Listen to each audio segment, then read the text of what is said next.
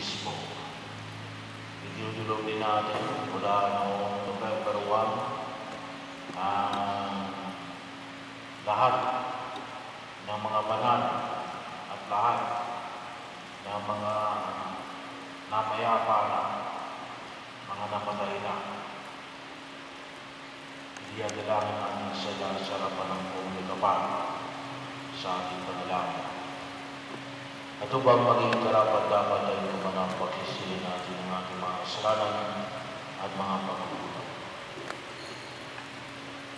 Inaamin ko po sa mga pangyayari ng Diyos at sa inyong mga kapatid na lubha ang nagkasala sa isip o salita sa gawa at sa aking pagkukulang. Kaya sinasama ko sa mahal ng Birhen Maria sa lahat ng mga anghel at sa inyong mga kapatid na ako'y tagalangin sa Panginoon aking Diyos. Kawan tayo ng kapangyarihang Diyos, patawarin tayo sa ating mga kasalanan at patnubayan tayo sa buhay na walang hanggan. Amen. Panginoon, kawan kami. Panginoon, kaawaan kami. Kristo, kawan kami. Kristo, kaawaan kami. Panginoon, kawan kami. Panginoon, kaawaan kami. Ama naming mga pangyarihan, panatilihin mo lumulugod sa iyong sambayanan ng iyong Espiritong pinupuspos ng Obispo, si San Carlos, upang kami laging magkaroon ng pagbabago sa ikapagiging kawamis ng anak mo para may pamanas namin ang kanyang mukha sa mundo. Sa pamagitan niya kasama ng Espiritu Santo, magpasawalang hanggan. Amen. Pagsipupo ang lahat.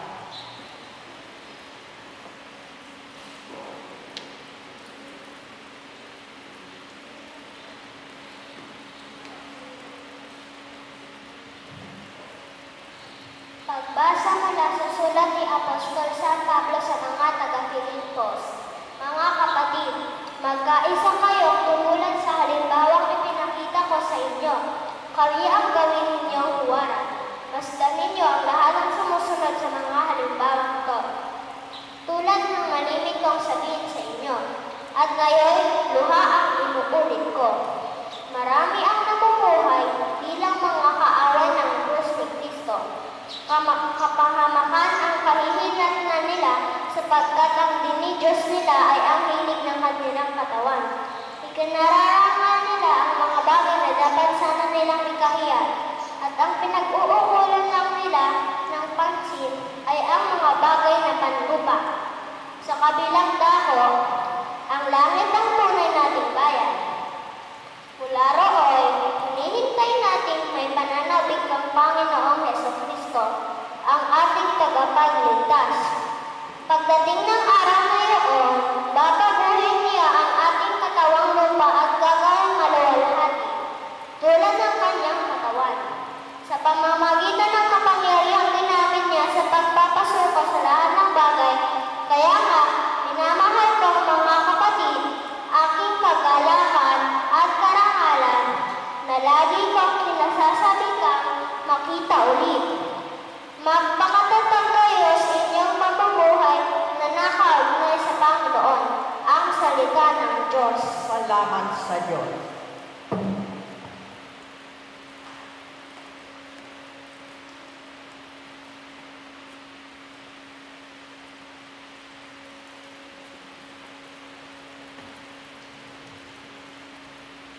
Masaya tayong papasok sa tahanan ng buong Diyos.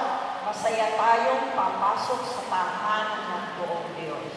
Ako ay nag-aalang sa sabing ganito, sa bahay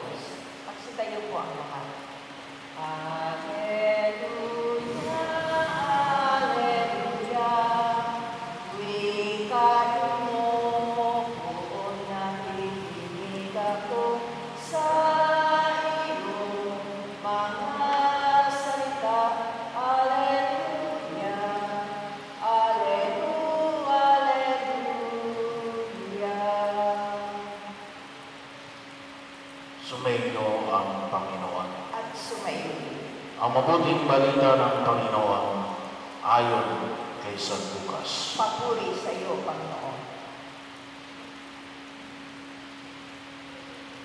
Nang panahon yun, sinabi ni Jesus sa kanyang mga lagat, may isang mayaman na may isang katiwala. Isinumbong sa kanya na nilulustay nito ang kanyang ari-arian. Kaya pinatawag niya at tinanong, ano ba itong narinig ko tungkol sa iyo? Isulot mo sa akin ang buo ang pangangasiwa mo sa aking ari-arian. Pagkat mula ngayon ay hindi na ikaw ang katiwala ko. Nawi ka ng katiwala sa sarili. Alisin ako ng aking Panginoon sa pangasiwa. Ano ang gagawin ko? Hindi ko kayang magbungkal ng lupa. Naya naman akong magpalimos. Ah, alam ko na ang aking gagawin. Maalis man ako sa pangasiwa, may katanggap din sa akin sa kanilang tahanan. Isa-isa niya tinanong, isa-isa niya ngayon tinawag ang mga may utang sa kanyang Panginoon. Tinanong niya ang una, gaano ang utang mo sa aking Panginoon? Sumagot ito, isang daang tapayan ng ismo. Ito ang kasulatan ng iyong pagkakautang dali. Maupo at gawin mong limampu. Sabi ng katiwala at tinanong naman ang is niya ang isa, Ikaw, gaano ang utang mo? Sumagot ito, isang dahang kabang trigo po. Ito ang kasulatan ng iyong pagkakautang mo ikanya. Isulat mo, walong po. Pinuri ng Panginoon ang mandarayang katiwala dahil sa katalinuhang ipinamalas nito.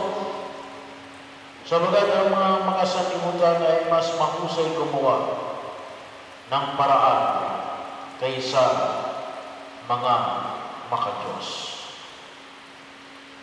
Ang mabuting balita ng Panginoon. Pinupuri ka namin, Panginoong Yesu Kristo.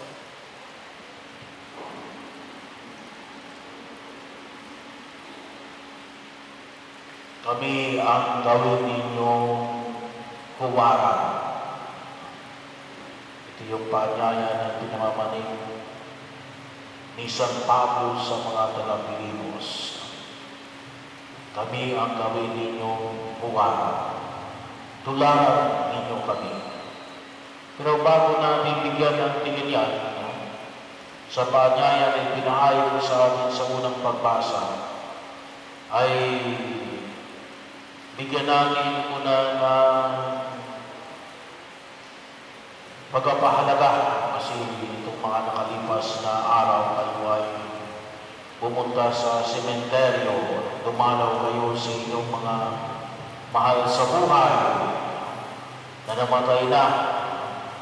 Kayo ay nanalangin sa mga mahal ninyo sa buhay na nauna na. So bahagi po na kung saan ay nabigyan natin ng paglilinaw. Tayo ay baka si tanongin kayo, "Kak, bakit kayo pinagdarasal? Yung mga patay. So, bahagi o kalimitan ng sagot natin ay para silang imaligtas. On the broad of the word, kailan ko kapag yun ang binanggit natin? Ay parang sinabi na gawa ng inyong panalangin, kaya sila naligtas. Ay baka kayo tirahin ng mga kapatid natin na hindi katoliko. No? Ang tama pong sagot ay ganito. Bakit ninyo pinapanalangin ang mga bagay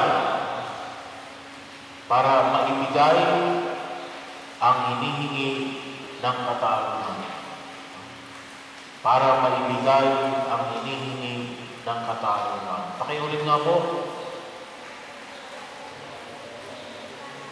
Isa pa nga. Isa pa. Ah, Kala ko kayo inaantok. Ano? Medyo masarap matulog at malamig. Ano? Pero bahagi yun. No? na para ibigay yung hinihingi ng reward ng, ng katarungan to give the requirements of justice. Kasi bakit po? Sabagat yung ating pananampalataya sa biyaya ng binyag, no? alam natin yun ay nagdulog sa atin ng kaligtasan. Niligtas tayo ng Diyos. Gawa ng ating pananampalataya. Pero, bakit natin kinakailangan na ibigay yung hinihingi ng katarungan? Sino nakasimba sa inyong linggo? Tara sa kamay. Sino nakasimba sa inyong linggo? Oh, wala ba nakasimba sa inyong linggo? Taas sa kamay ng mga nakasimba sa linggo. Ah, magsisimba pag-araw na linggo, ha? Mga bata, huwag yung kalimutan. Ha? Magsisimba pag-araw na linggo. Ano? Kasi yun sa mga tungkulin natin bilang mga Kristiyano. Ano? Kaya nga sinasabi ni San Pablo, kami ang gawin ninyong muwarag. Ano? Magsimba pag-araw na linggo. Bakit? Kasi tungkol natin. Pero kaya ko lang may tanong yun. Sapagat noong itong linggo, yung ibanghelyo natin, Eric, anong sabi ni Sakeo? Ito kasi yung usapan ni Sakeo at ni Jesus. Ang isang sinabi ni Sakeo rin, sabi ni Sakeo, ay ibibigay ko po ang kalahati ng aking ari-arian sa mga lupa. Ano pang sabi ni Sakeo? Kung ako'y pinadayang sino pa, apat na ibayo ko isa sa uli yung mga nadaya ko. So, ikaapat na ibayo, ibig sabihin, kung ikaw ay nakadara, nakapagdaya ng isang daan, ilang, ilang, ilang magkano ibabalik sa kayo? Kung isang daan, yung kanyang na, na, nadaya, ilan ibabalik ni sa kayo? Ilan? Kung ikaapat na bahagi. Ilan, mga bata? Oh, mahirap sa mati itong mga ito. Ha? Kapag 100 yung medalya sa kayo, ilan yung ibabalik sa kayo? Ilan?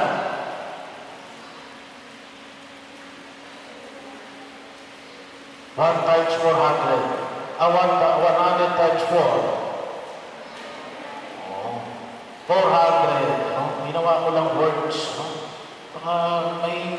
Kapag ang inyong exam may comprehension. No? So, 400. 400, ibabalik ni sa kayo yung nadaya niya ng isang daan. Kasi ikaapat na ibayo eh. Four times the amount. Sino sabi niya kay Jesus? Panginoon, ibabalik ko muna ikaapat na bahagi mga kinadaya. So, hindi sinabi ni Jesus na, ah, wag, wag sa kayo. Ikaw ay niligtas ng iyong pananampalataya. Hindi sinabi ni Jesus yun. Alam sabi ni Jesus, lipirin ni Abraham ang taong ito, na parito ka na ng taong mangiligtas ang naliligaw. So, hindi niya sinabi na, hindi na kinakailangan ibigay ni sa kayo yung apat na daan. Kasi kung dudusin nga po, more than the requirements yung binigay ni sa kayo kasi sa Old Testament ay three times the amount. So, sa lumang tipag, bago dumating sa Jesus, kung ang iyong nadaya ay 100, ay babalik mo lamang ay 300. Pero sa bagong tipag, isa kayo ulit. Nadaya mo isang daan, ibabalik mo ay 400. So, yun. Bahagi mo yun. Ngayon, yung mga kapatid natin na matay, Biblisyo, naggawa sila ng mga binyaga. Sila'y nagsumikap ng tumugon sa panawagan ng buong may kapal. Biblisyo, na sila ay, kung sila man ay nagkasala, sila ay tumatanggap ng sakramento ng kumpisal. Pero alam natin na kung minsan no, may mga kasalanan tayo na ikumpisal na natin, kaya lang hindi pa natin nababayaran. No? Hindi pa natin nababayaran. So, ibig sabihin, itong mga kapatid natin na namatay na, siguradong pupunta rin sila sa langit. Siguradong pupunta rin sila sa langit. Kaya lamang, may tinatawag tayong purgatory. Kasi bakit? To render the requirements of justice. Para ibigay ang inihingi ng katarungan. Uli, yung reference point natin ay si Sakeo. Para ibigay yung hinihingi ng katarungan. So hindi nila naibigay nung sila'y nabubuhay. Paano nila maibigay? Ah, yun ang kanilang pagdudusahan sa purgatorio. Habang hindi pa nila naibibigay yung hinihingi ng katarungan. Doon nila yun pagdudusahan. So tayo, habang tayo nagdarasaralin, ah, para sila ay matulungan natin na maibigay ang inihingi ng katarungan. Nanawa sa ating mga panalangin sa pagpupuri sa Diyos, matulungan natin sila na maibigay yung pagkukulang nila nung sila'y nabubuhay sa daigdig na ito. Pero sigurado, pupunta rin sila sa langit. So, ano yung may bibigay ng ating panalangin? Ah, mapapadali silang makarating sa langit. At kapag sila nasa langit na, ah, sila na yung may tinuturing natin mga banal.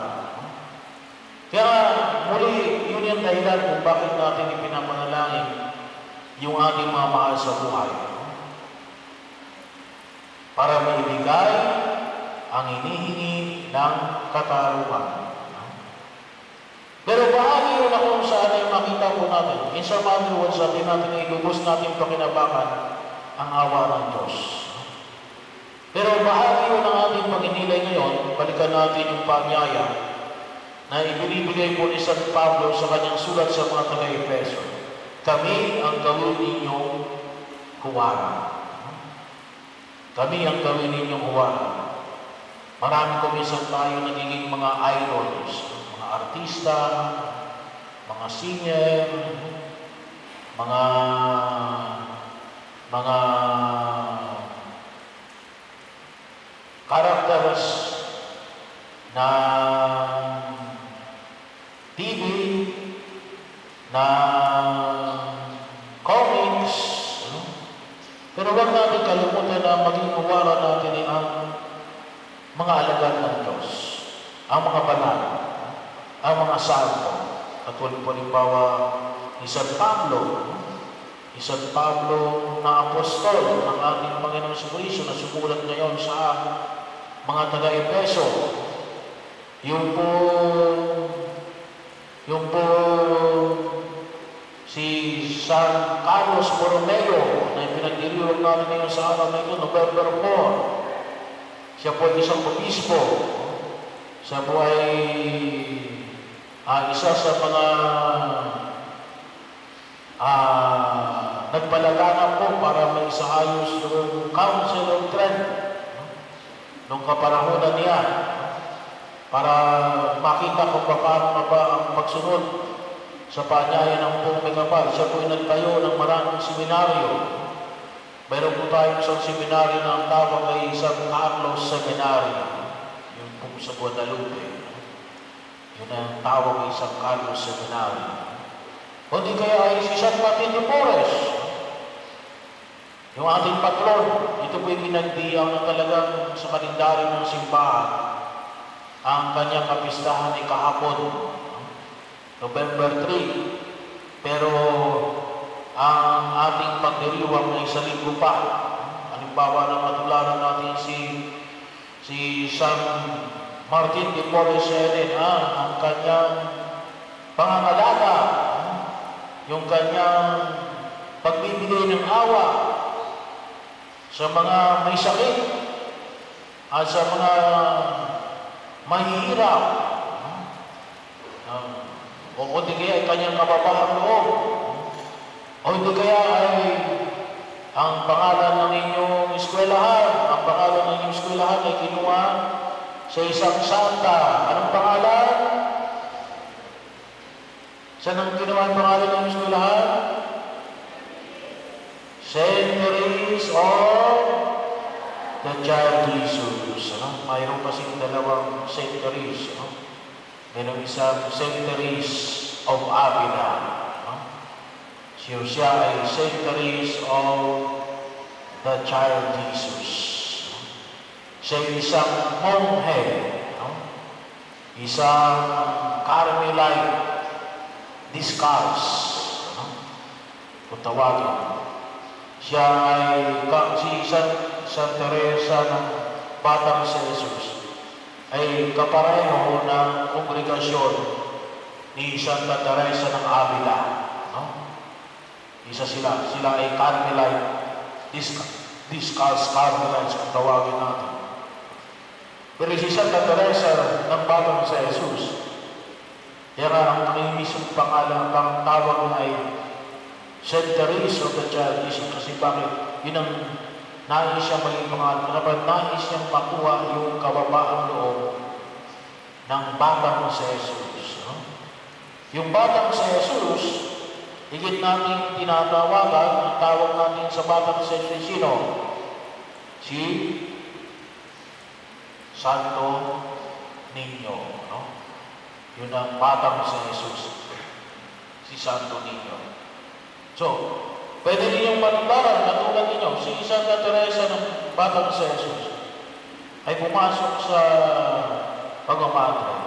Ng bata pa, teenager pa kung nung siya nagmadre. Sila po ay tatlo sa magkakapatid na naging madre. No? Yung magulang ni Saint Teresa of the Child Jesus, yung kanyang nanay at tatay, santo rin. Nakalimutan ko lang yung pangalan ng nanay at tatay ni Saint Teresa of Child Jesus. No? At mayroon tayong shrine dito sa Laguna na itinalaga lamang noong kapistahan ni Saint Teresa of Child Jesus. Kailan yung kapistahan ni Saint Teresa? Kailan pinagdiriwang yung kapistahan ni Saint Teresa? Anong day? Bata. Ah, bata. Yan, bata. Alam naman ng mga bata? Hindi alam ng mga bata? Oh, hindi alam ng mga bata. Oh, yung sa matanda. October 1. No?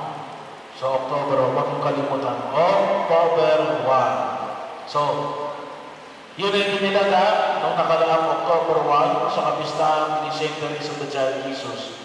Yung isang parokya, naging isang parokya po sa Diocese of San Pablo, na kung tutusin ay parokya sa loob din ng isang campus sa UP, no? Sa UP Los Baños. Ang nandun po nakalagay ngayon yung shrine of St. Teresa of the Child Jesus. Ginawa na pong shrine of the Diocese of San Pablo. October 1. So, yun ay bahagi yun ng pagninilay. At huwag mo natin kalimutan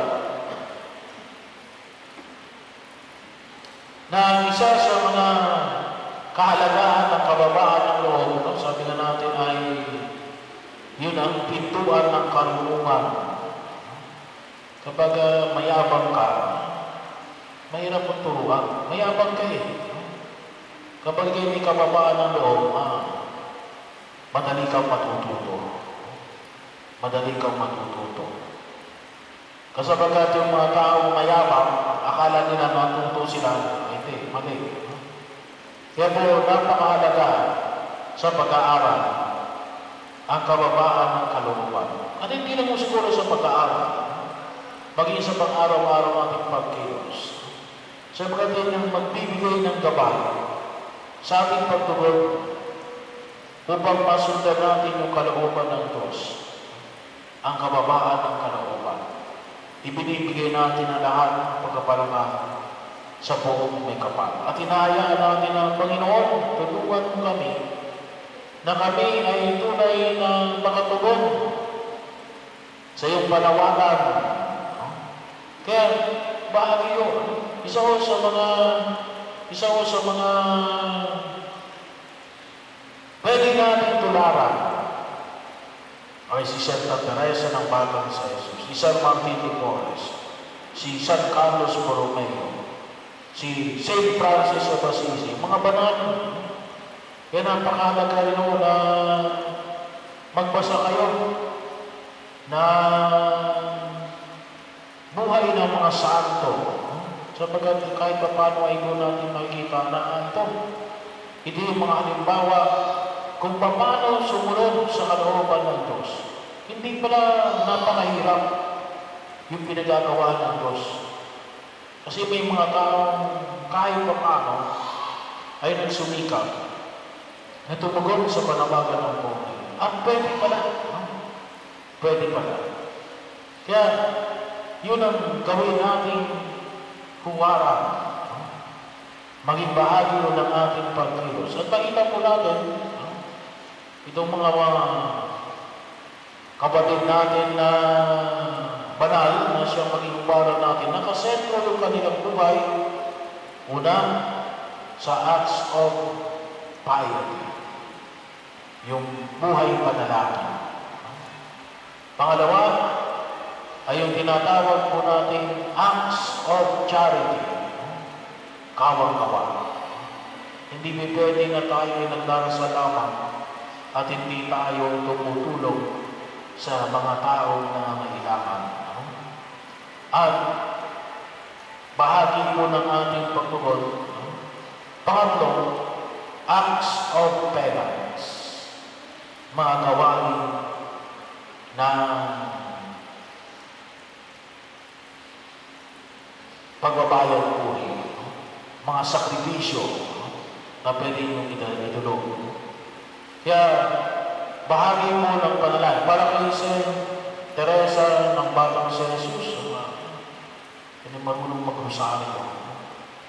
Magdasal ng palagi ng darasal, palagi sa kanya pinagdarasal yung pagdarasal ng Santo Rosario. Yung kanyang acts of mercy, acts of charity, eh, yung kanyang pagsunod sa kanyang mga superior, charity yun eh. Kapag palagi yung kinakalaban ng nanay ninyo, palagi ninyong palagi ninyong kinakalaban yung guro ninyo, no? ay nakadagdag kayo ng tension, no? nakadagdag kayo ng problema, hindi kayo nakatutulog. No? And then, yung penance, no? simple lang.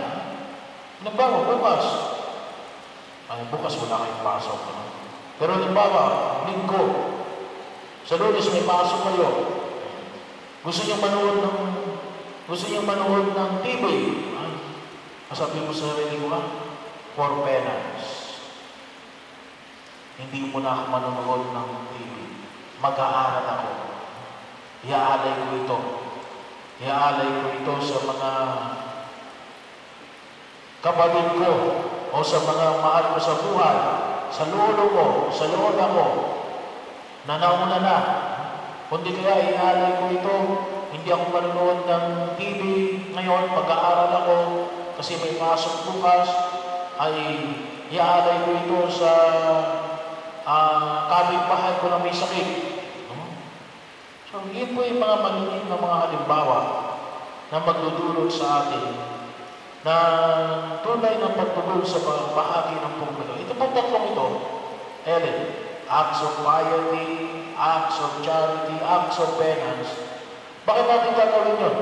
Sapagkat ito ay gawain na iniligtas ng Diyos. Ano? Ito'y gawain ng iniligtas ng Diyos. Hindi ito para maligtas ng Diyos. Ito'y gawain ng isang iniligtas ng Diyos. Dahil ako iniligtas ng Diyos, ito yung gagawin mo. Naman, marami pang pwedeng pamamaraan. Kaya nga po yung mga istorya ng mga banal ay siyang pwede natin pagnilaynilayan.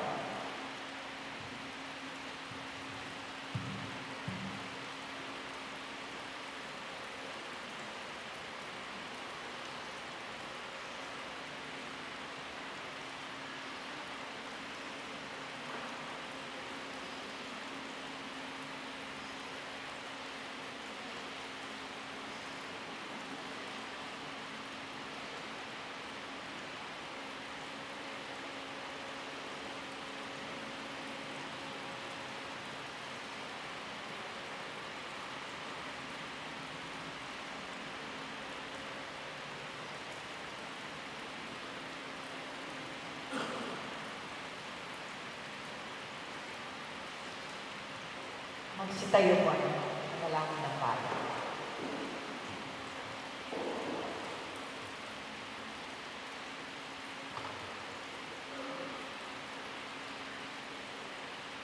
Manalangin tayo sa Ama na tumawag sa atin upang maging mga tapat na tagapangalaga tayo sa paggamit ng mga biyaya ng daigdig para sa kalulatian ng lahat. Sa bawat panalangin ng ating pong itutugon, Banal na Guro, pakinggan mo ang aming panalangin. Ulitin po natin. Banal na Guro, pakinggan mo ang aming panalangin. Ang simbahang naway maging mulat sa kanyang responsibilidad na isulong ang katarungang katipunan sa sambayanan. Mala- manalangin tayo sa Panginoon. Yan mo ang aming panalangin. Ang opisyal ng gobyerno maging karapat-dapat sa pagtitiwala ng tao at magnais ng makasariling kabutihan sa kanilang pagsasakatuparan ng kanilang tungkulin. Manalangin tayo sa Panginoon.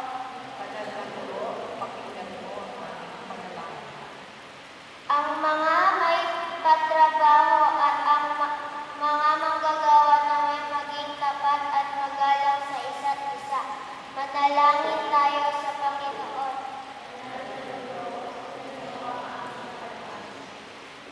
Ang mga may sakit naway mabigyan ng biyaya sa pagtitiis sa kanilang karamdaman. Manalangin tayo sa Panginoon. Ang ating mga mahal na yumao naway umani ng bunga ng kanilang pagpapagal sa walang hanggang kaharian ng Diyos. Manalangin tayo sa Panginoon.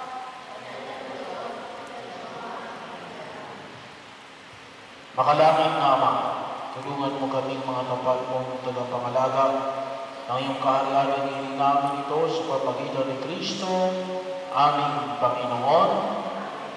Amen.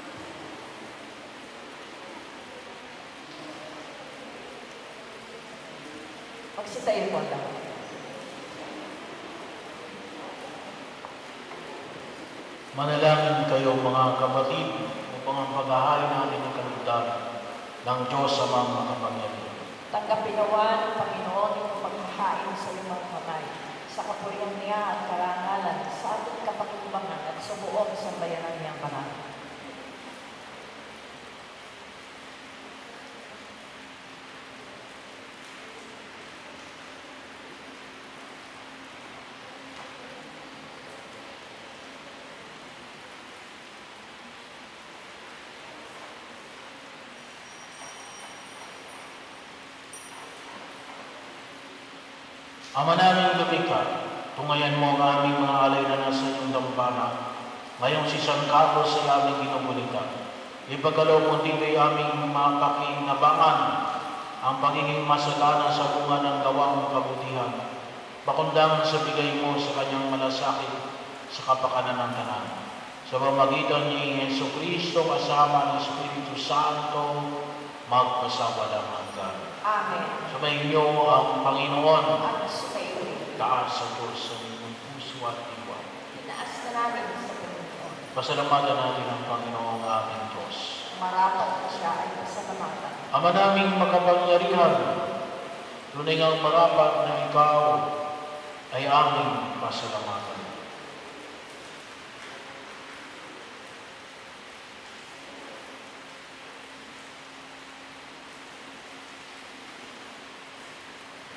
Sa pamagitan ng Yeso Cristo na aming Panginoon, ngayong si San Carlos ay pinararamalan sa pamumuhay ng totoo pagiran at magiging maasahan sa panunungkulan, kaya si Yeso Cristo na maasahan sa katapatan ay inihayag sa pangangasiwa ng sambayanan. Ang malasakit ng mga ulirang tagapangasiwa noon ay nagpapatuloy magpahanggang ngayon sa mga panalangin kanilang inuukol kaysa ng sambayan kung dito'y nagtitipon. Kaya kaisa ng mga anghel na nagsisiawit ng papuri sa iyo ng walang kumpay sa kalangitan, kami nagpupuli sa iyong kadakilaan.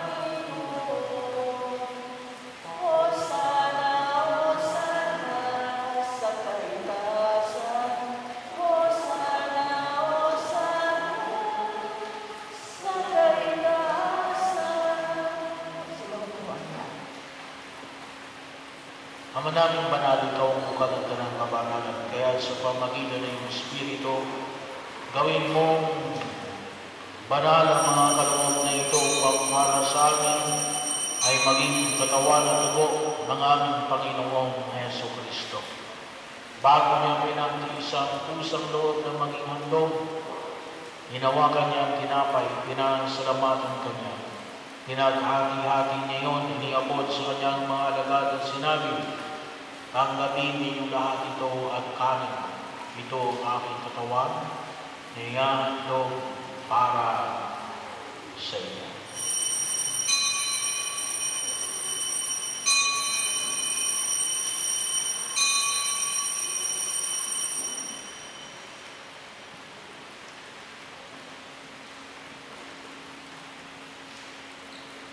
Din naman ang matapos sa makuna ni nawakan niya ang kalis, muli kanyang pinasalamatan.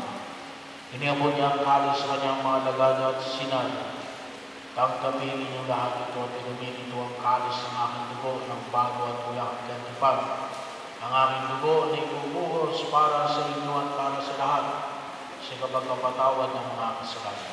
Gawin ninyo ito sa pag-alaala sa akin. Ang misteryo ng pananampalataya.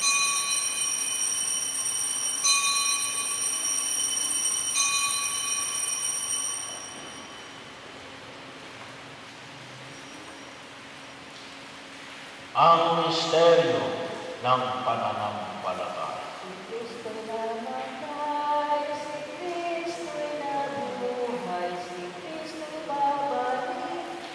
wakas ng panahon.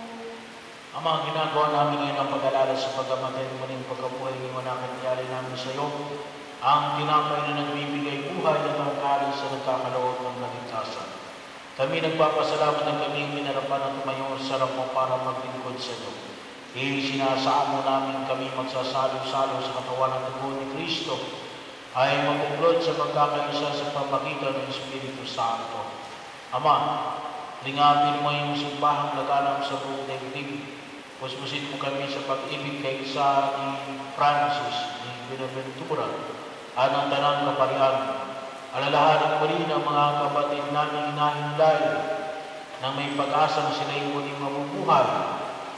Yung ating pinapanalangin mula pa po noong November 1. At ang lahat ng mga pumanaw, kawan sila at patuloyin sa iyong kaliwanagan, kawan pagkakapaling kami lahat na makasalo sa iyong buhay na walang wakas kay isa ng mahal na Birhen Maria nila ng Diyos, ni San Jose na kanyang esposo, ni San ng mga apostol, ni San Carlos Borromeo, ni San Martin de Porres, at lahat ng mga banal na namuhay dito sa daigdig ng kalugod-lugod sa iyo, kasama sa Santa Teresa ng Avila.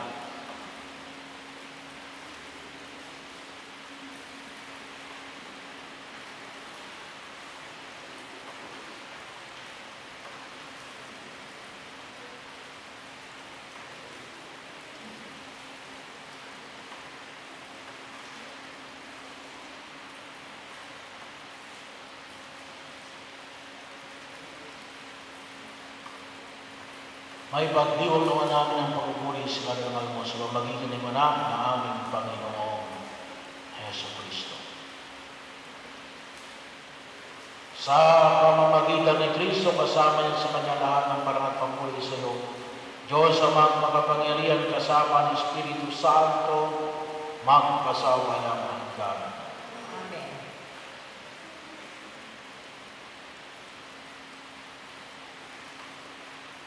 Upang Sa maging huwaran natin ang mga taong nagsumikap na sumunod sa kalooban ng Diyos katulad ng ni Santa Teresa ng Batang si Jesus.